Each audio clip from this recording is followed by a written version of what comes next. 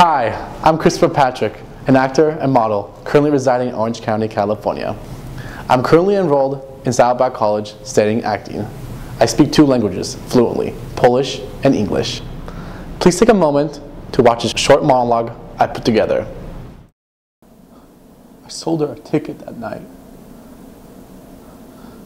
I only recognized her because we played Foursquare together once.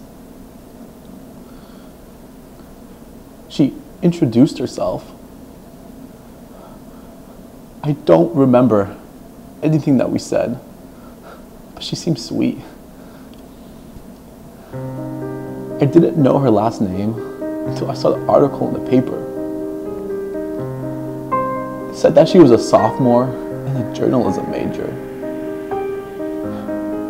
She had a younger sister in high school named Carolyn.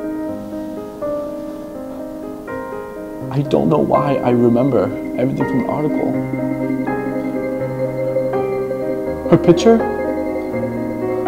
was in black and white, and it was right under the IDE and suicide. Her picture was small. It didn't look like a school picture.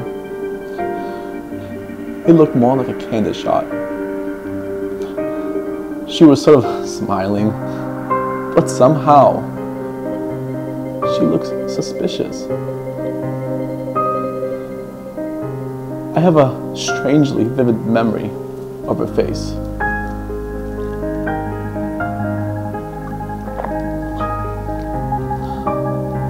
That night, she seemed fine, friendly and smiling. I couldn't have done anything different. I couldn't have known what she was feeling. But then, I didn't ask, did I? I just never knew anyone who died.